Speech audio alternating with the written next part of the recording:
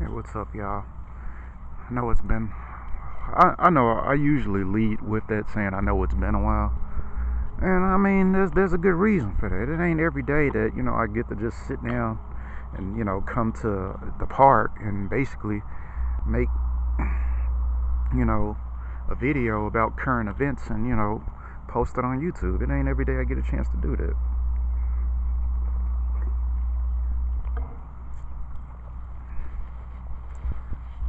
Fact, um, I had some vacation time. I took a week off, and like I've been usually like I've been lately. I've been telling people that even though I was off for a week, it was pretty much just it was just as busy then as it would have been if I didn't take it off. Because I basically had to restock my um, fridge and freezer. But now that I do have some time off, seeing that, you know, I didn't go to the gym today, um, I figured I figured I'd come out here since, like I said, it's been a long time since I've come to this park.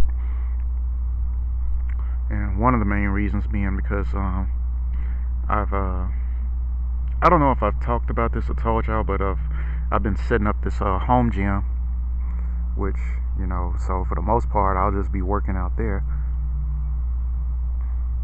So another um, like i said lame excuse to not you know come out here like i used to. But anywho um i thought i would do a um make this film or make this video rather about uh a duet in death of two um of two pieces of shit who have you know due to the fame that they've acquired and the legacy they left behind are indeed American icons who've recently died. And what this mean I mean what that means to me and what that really means to us or at least what it should mean now that the now that they done gone and um now that they gone and um went home to be with their daddy the devil with their father the devil.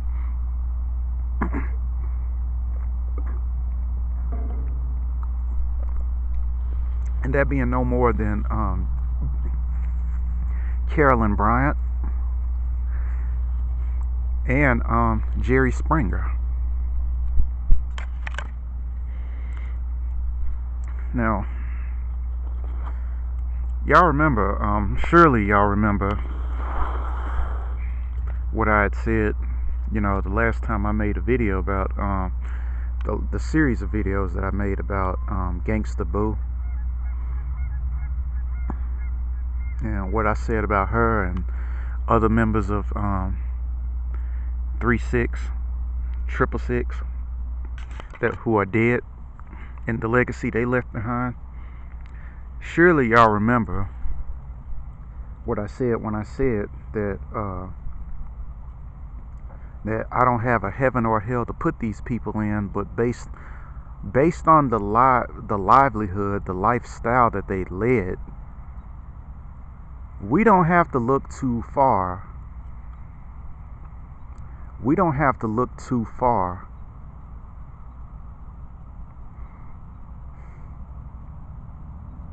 And uh,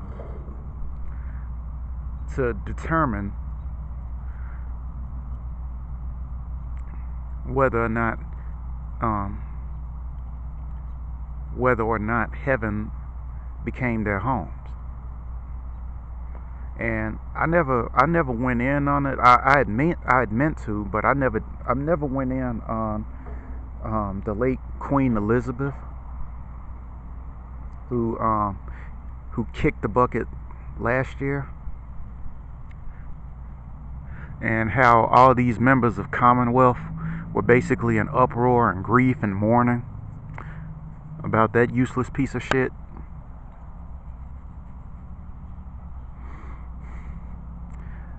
But I do remember saying that, you know, we don't have to look too far as far as figuring out, you know,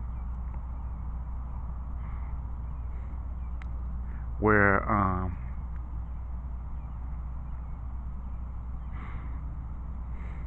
you know where her final destination pretty much was.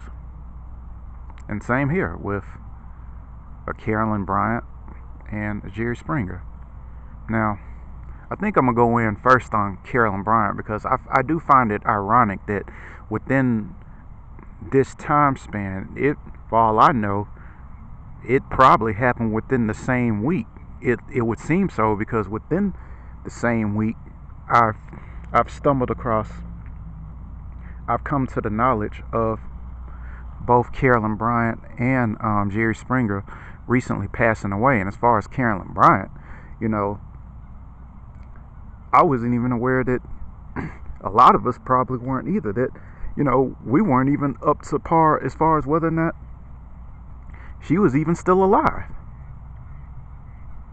Because it's almost like for the past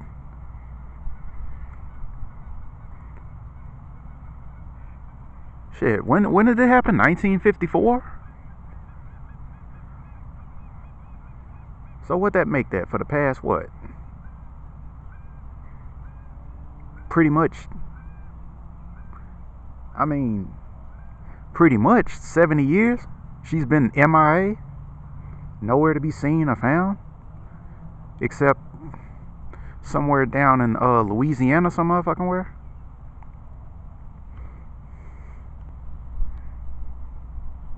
It ain't like, you know, it ain't like she's made an icon of herself in the same lure that uh, Jerry Springer has you know, making a career out of, you know, basically smut and the lowest common denominator of American society.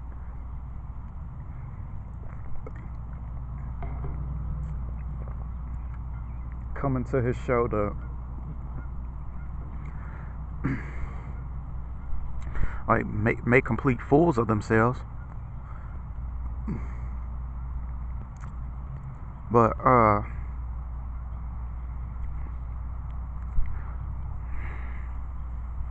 how I even came to the knowledge of who Carolyn Bryant was and what she did was pretty much this series called Eyes on the Prize. And this, and mind you now, this this was the 90s. This was like the mid to maybe late 90s that um, I gotten a hold of these um, of this series long before there was a YouTube, long before there was the the level of um, you know mainstream media that you know we know of it today. In fact, the internet was just starting to um, you know come into fruition, like you know with 95 and 96.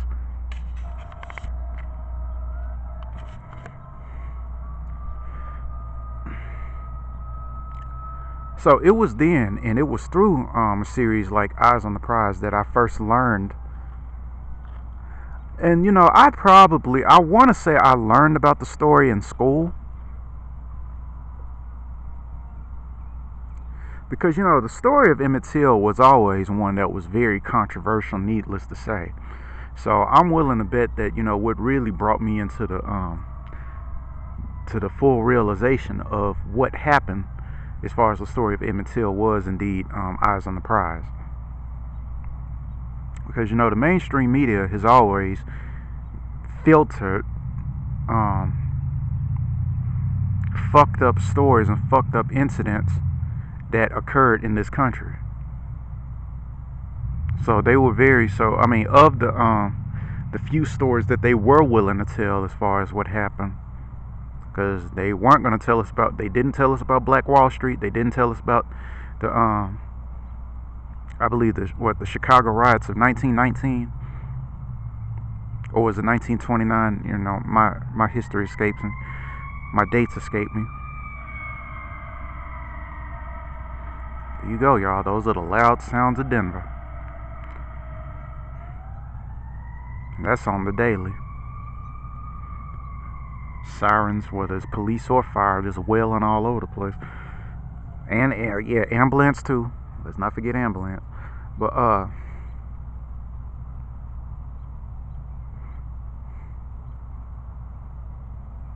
So yeah, it, it was pretty much um, eyes on the prize that brought me to the conclusion of that incident,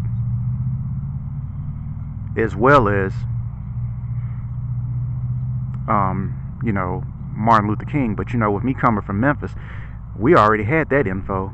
Needless to say, obviously, obviously we had that info. That was something that was a direct correlation to you know Memphis history versus you know what happened down in um, Money, Mississippi, some 14, 15 years prior. Because you know any respectable uh, Memphian surely has been to the uh, Civil Rights Museum at least once. Where you know you got to see all that. And you know you learn more than just you know you know all the fucked up shit that happened during the civil rights movement in Memphis. You I mean a lot a lot of that stuff really uh you know detail what happened um really in Alabama. A lot of it like with the uh a lot of that stuff was um for, as far as what I remember what happened down in um like in Selma but what I didn't know, now that I'm on that tangent, little did I know, little did I know up until I uh, watched uh, one of Umar Johnson's, uh, and you know, even with him being the shine that he is, you know, you have sometimes you have to take the message, leave the messenger. As long as he's promoting or telling you the the message as far as what really happened, because in a place like the Civil Rights Museum. Think about how fucked up this is. As a native Memphian, not knowing this because you've basically been lied to. Because most of us were told that the assassin of Martin Luther King was James Earl Ray. Right? And I believe they executed him like in the early 2000s.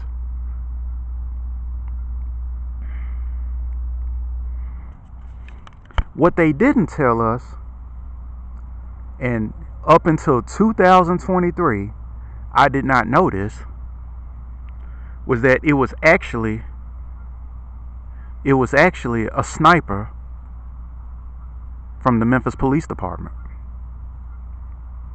Whereas James Earl Ray was just supposed to have been the fallback guy. We didn't know that. We didn't know that.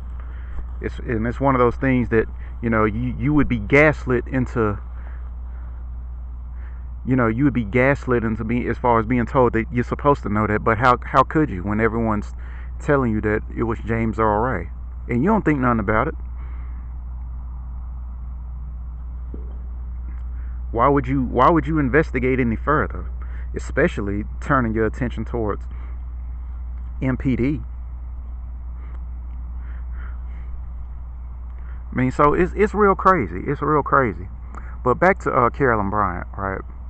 And the the story of Emmett Till and the the innumerable stories that I've heard since, you know, from from the time that I saw it up until now. As far as the incident down in Money, Mississippi, where there was this boy from Chicago who came down to Money, Mississippi to visit his family. And you know with him being from Chicago and not really knowing the the rules and regulations of the Jim Crow in the heat of the Jim Crow South goes down there and from what sources have stated whistled at a lily white woman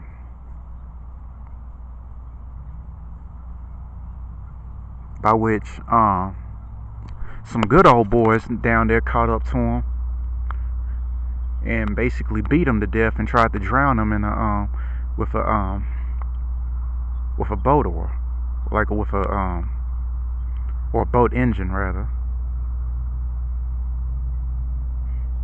So I, I saw the footage. I saw and I mean mind you now at a very young age I could I must have been 11 when I saw this shit. Like the aftermath of what he looked like when you know his mother decided to do an open casket.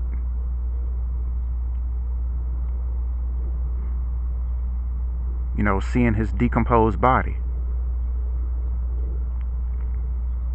And like I said how she made an effort to make it open casket the funeral open casket so that the stench would permeate all throughout the entire city, as I was told it did.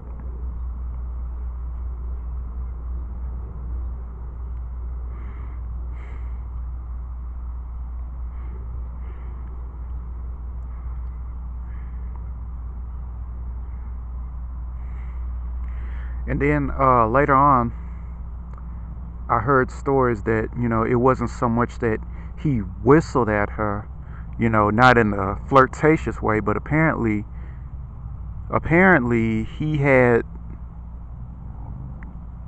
later on because you know at face value because you know with immigrants coming here they'd probably hear the story of Emmett Till and they would probably try to find a way to based off what little information whether they know it or not because knowing where we stand with a lot of them they would have been like well well you know, with being in the height and in the heat of the Jim Crow South, he should have known better whether he was from the North or the South to be up here calling himself whistling at a white woman. It's particularly a southern white woman, right?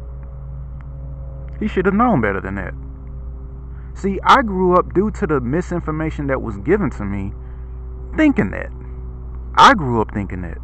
What the hell was he doing whistling at a white woman in the first place in the height of the Jim Crow South. I imagine he probably wouldn't have been able to get away with that in what we now know and understand and understand as the Jim Crow North. Because that's another thing, you know, growing up down south, they didn't tell us that. They didn't tell us that the Jim Crow, that there was just as much of a Jim Crow North in New Jersey as much as it was down in Mississippi.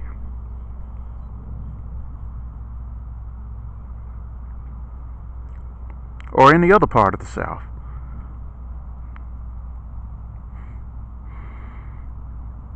But apparently, from what I later on gathered, was that Emmett Till apparently had a, uh, a speech impediment.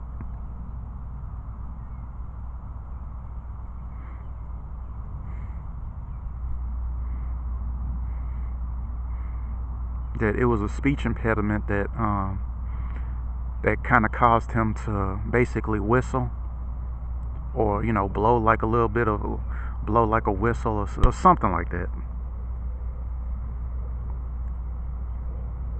And that he basically from what I'm gathering that he greeted her and while and I think he like nodded you know like you know how um like nodded his head or his hat at Carolyn. And upon doing it and walking out the store that they were in, he whistled at her.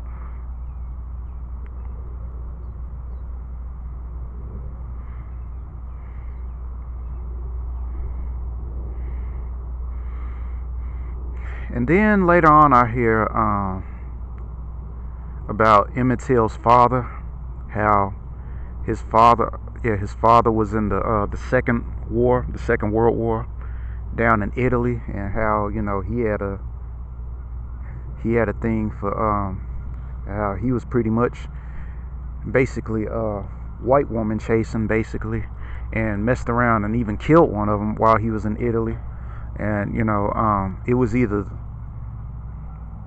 it was either the Italian government or the U.S. Army who basically executed him.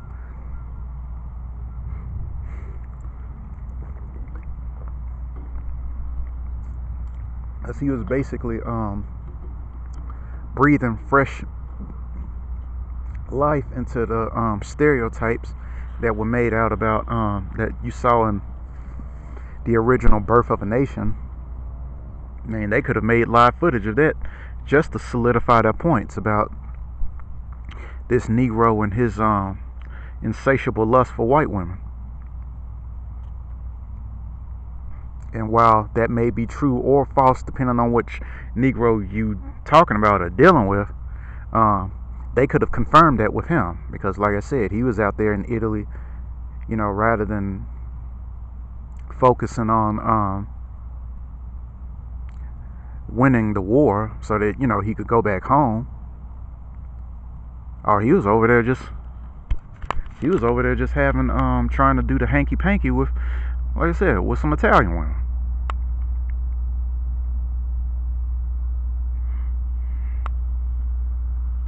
And again, later on, it was only later on, much later on. I mean, like I'm well into my 30s when I'm hearing about the, these stories about, like I said, MLK going over to Sweden, you know, and his uh, sexual escapades, where he's basically chasing a Swedish woman down some banquet hall basically butt ass naked from what I either half either half naked or butt ass naked.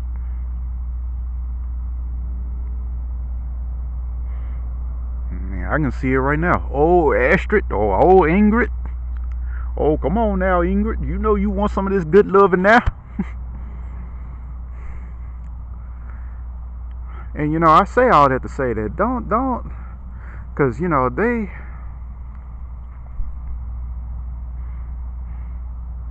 you know, and it's it's with that understanding that you know I can understand why the late David Carroll would, um, in a lot of his videos, would have pictures of MLK, and he would have the pictures of them um, hanging upside down, because for quite some time, some people, and it, you know, it it finally came across us because, you know, we we saw the um, we saw how they were heralded. We saw the children's books, you know, of us coming up, and we saw the children's stories like anim- animations of, you know, what was going on during the Jim Crow South and how, you know, Martin Luther King was just heralded as this shining example of uh, racial justice for, you know, for not just African Americans, but, you know, for races of all people who eventually just came in and took advantage of the, uh, the, the 1965 Immigration Act, and uh, I I have yet I have yet to be personally thanked for these people coming in. If anything, I've been uh, I've experienced. I'm pretty sure what most other African Americans have experienced, despite like I said, we being the generation who allowed these fuckers to come in here. But yeah, you know, we, we know them to be shines. That that's my whole point. But again, back to Carolyn Bryant and how I feel about the incident. Now that, I mean, my whole life, well, not my whole life, but the vast majority of my life, like I I held that to um, the story of Emmett Till. I held that in my heart as far as being what this country, you know, and it wasn't until later, you know, growing up, I would learn many other fucked up stories about this country and what it's done, things that you know the media makes an effort to not expose. Like i said they, they've just given us increments by which to go. So for the longest but so yeah i did know like i said i knew about mlk and i knew about emmett till. So the story of emmett till was definitely a story that i held near and dear to me as an african american male having personally been accused by a, a, a Becky of something quite similar that could have, you know, in the right setting, could have had me swinging off a tree, having me being some strange fruit. Cause I think I'm sure y'all those for my uh one for my first days for my uh day ones rather excuse me for my day ones y'all y'all know the story about me how like i said when i was at atlanta bread company how and like i said i didn't initiate this conversation. It was them folks talking about ironically enough columbine. And i say ironically enough because i'm in the city where columbine happened and it's it's been um, nine days since the uh what what to make that the shit what the 24th anniversary since that bullshit happened Yeah. And reason why I remember that is because I know they specifically did that on Hitler's birthday, which is April 20th. So that ain't a hard date to remember. But uh so they were talking about Columbine and how fucked up it was, and I specifically remember saying I can only imagine what kind of trouble I would be in if I brought a gun to school. So the next day I come in and I said, you got one of these um some French piece of shit or French American at the least, probably couldn't speak a word of French to save a motherfucking life. And next thing I know, our boss, ironically enough, coming from Louisiana, coming from that gene pool, because you know a lot of people say that the worst white man is um, one from Texas. I I'm like I'm not really sure about that. If he if he is, he must be he must be kin to um his cousins next door to in uh, Louisiana. Because I would say the worst one is are the ones from between Mississippi and like that border between Mississippi and Louisiana. And these are the folks saying that. Like I, I never heard of that before. I mean, it was my brother who told me. Like they said that the worst white men is um the ones from Texas. And I yeah I've heard some stories. I heard about the story about Jasper, Texas. I'm not gonna go into it, but we know about that. Well, I'm pretty sure we're talking about. I'm pretty. I would not be surprised if. I mean, the fact that Texas and Louisiana are next door to each other, it's it's pretty much the same thing. Like whether you're Texan, Louisiana, same same same gene stock. What's the difference? Different states, different regions. Well, not even really different regions. Same gene pool. Anyway, so like I said, I come in the next day. My manager is up here telling me that this lying sack of shit said that I was thinking about bringing a gun to school. Now, again, and I asked, I've asked for years, how is it that someone who was a valedictorian, had been member, uh, had been a member of several honor societies, can confuse and convolute imagining what kind of trouble you would be in if you brought a gun to school in contrast to thinking about bringing a gun to school. And since then, all these countless mass shootings, school shootings, whose perpetrators look nothing like me. Make that make sense.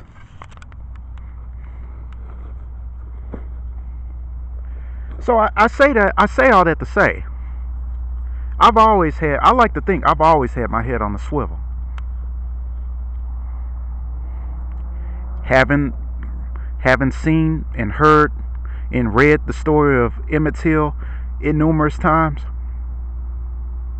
and having experienced a similar experience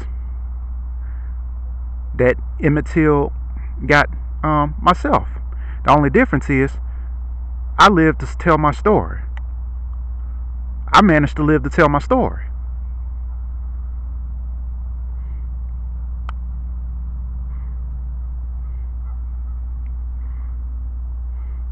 I'm still alive to tell my story. Because just imagine where I would have been had it been a different scene, had it been a different time period, where I so much as blow my nose the wrong direction I so much as slip over a banana peel and say, uh,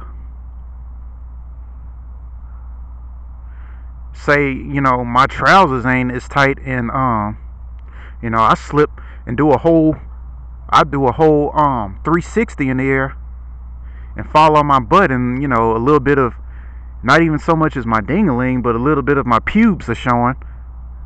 She, all she would have to do was say, uh, I was over there flashing my uh my Johnson at her, and next and, and I, it, no questioning, no like no nothing. Next thing you know, I'm I'm becoming what Billie Holiday referred to as strange fruit. That's what I'm saying, man. I couldn't imagine. I couldn't imagine. I couldn't be like imagine being in them times. And I honestly don't know which would be worse. The Jim like the antebellum you know, antebellum slavery in the South or the Jim Crow South.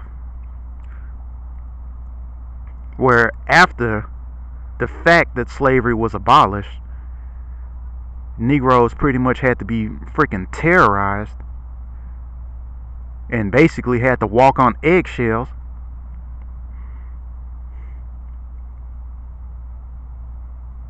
Because, like I said, God forbid, God forbid, you know, as a black man, you so much as slip on a banana peel.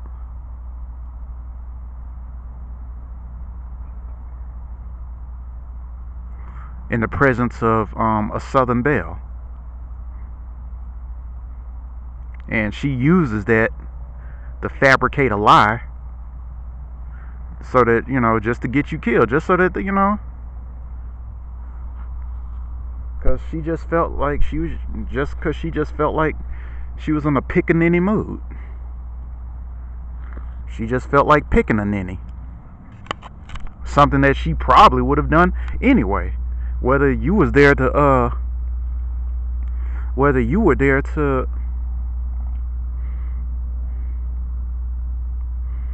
you know, slip on a banana peel, or you just walk by and, I said, greeted her and um, nodded at her with, you know, you tapping your, uh, tapping your, uh, you know, that those hats that they used to wear, and saying, uh, good day, ma'am. I mean, we know the story of Rosewood, where she, I mean, that lady down in Florida was, uh, basically cheating on her uh, cheating on her husband and her husband found out and beat the brakes off of her and rather than throwing him under the bus she basically said two wildebeest negroes came and um raped her.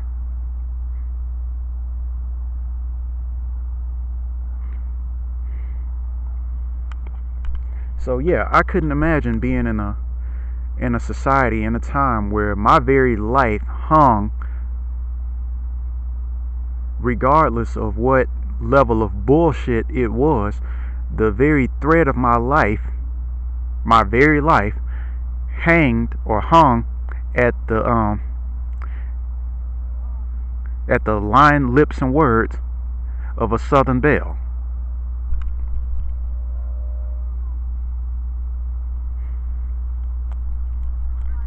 Because honestly, you know, now that now that um Carolyn Bryant has finally died and gone home to be with her father, the devil, um, I honestly can say that you know, with me doing what I got to do, and with me not even really being aware of whether or not she was alive and not really giving a flying fuck about it. I mean, I can honestly say I really I feel nothing about it. Like, and I really don't see it ain't really much to celebrate when you consider that, you know, with the rise of Karens with the rise of future Karens who are in their prime now, so they're pretty much Becky's. I wouldn't necessarily call them Karens now, but they're future Karens.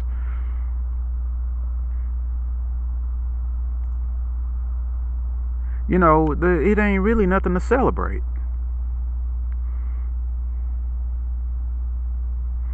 I mean, it ain't nothing to be sad about. Of course not. In fact, I like to think the only reason why she lived to be 88 years old was so that um I like to think the reason why she lived such a very like a real a really long life is because um the I like to think because the ministers of hell were basically taking this sweet, precious time pre- preparing a place for her down there. And like I said, instead of taking her out and letting justice do its thing, like giving her, like, nah, they're like, nah, with this one, we're, we're just gonna let her live out her life because when she, but when she gets down here, when she gets down here, boy. When she gets down here, after she done lived her little sweet, um, when she didn't lived out her, she didn't lived out her natural life, getting out here and after um having did what she did in the name of WS and um and having a system pretty much protecting her, you know, having her as a protected class. I heard that she had some I heard that she had some piece of shit uh, children that she didn't raise. So after she didn't did all that and did motherhood and like no, we we gonna leave her alone. We gonna leave her alone. But when she come down here, when she finally give up the ghost and come down here, boy. Mm, yeah. So I like to think that's why uh, she lived such a long life. She lived longer than my grandmother by three years.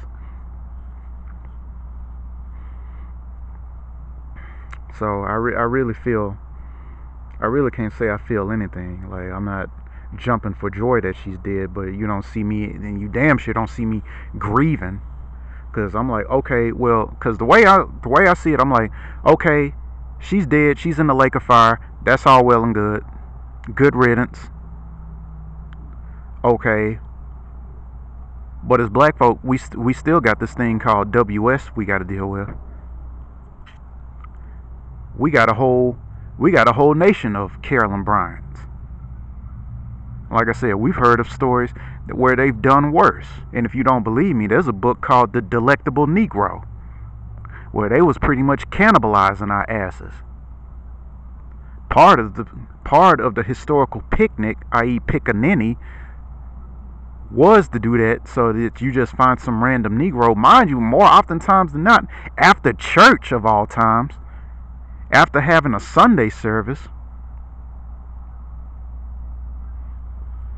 to pick a ninny and either hang him or string him up, roast him alive, and then and then eat the son of a bitch.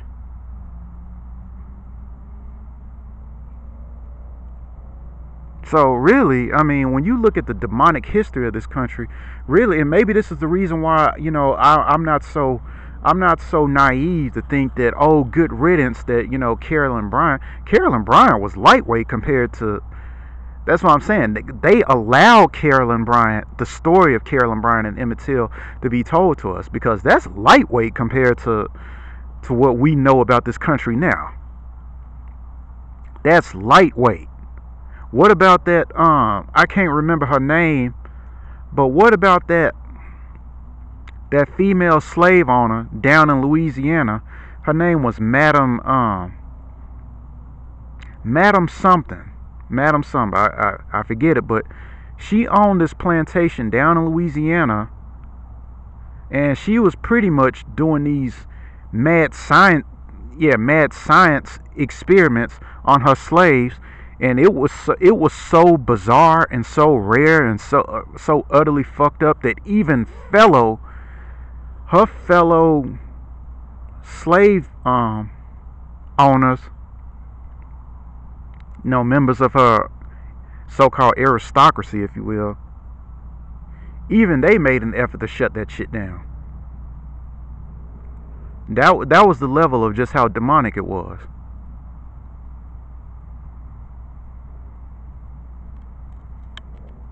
So compared compared to the real story that we know, um, Carolyn Bryant was lightweight, and that, that's not the that's definitely not to undermine what happened to um, Emmett Till, because Emmett Till was um, just one of many black boys who never got justice for the crimes committed against them. Because I, I specifically remember even earlier than that, like in the 30s, there was this boy in um, I believe in Arkansas who was about the same age, but this was like in the 30s, not in the 50s, I believe, where they just they just randomly basically kidnapped his ass, accused him of committing murder on a white woman and they pretty much they either um it was either he either got the electric chair or the gas chamber. They either electrocuted or they gassed him. I mean, just some random 14 year old, 13, 14 year old boy with little to no evidence accused them and charged them with the murder of a white woman and then just put them to death.